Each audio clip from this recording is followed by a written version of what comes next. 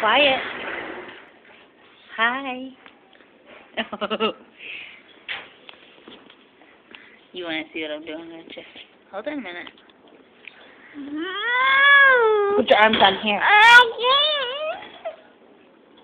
You can't hold me. Huggy.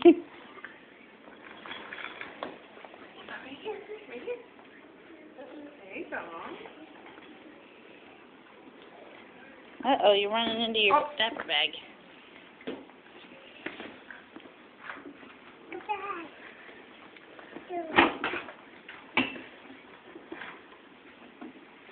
Are you walking?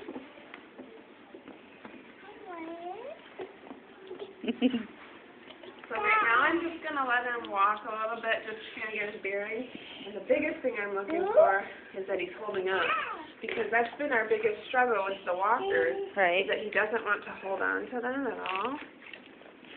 And so this kind of takes out the balance piece, because he's not gonna fall over. And then if he can just focus on Holding on. holding on part. Good job. Where are we going? Where are we going? This way. This way.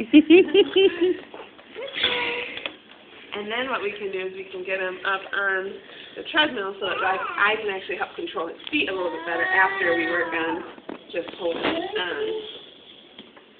Good job. Whoa. Wall.